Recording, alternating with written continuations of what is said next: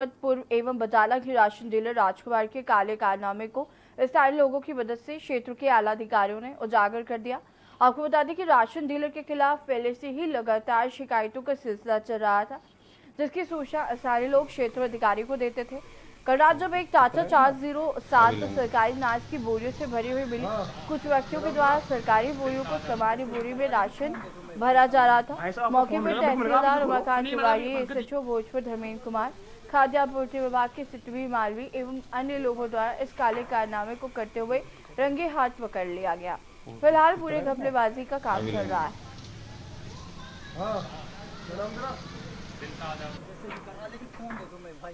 भाई साहब आपका फ़ोन मिलेगा? बिल्कुल मिलेगा आप इसे खोलो। सुनील मेरा भगत दी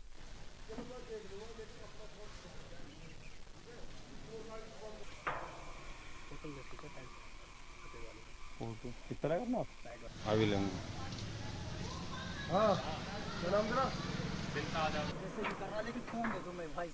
भाई साहब आपका फ़ोन मिलेगा बिल्कुल मिलेगा आप इसे खोलो। सुनील मेरा भगत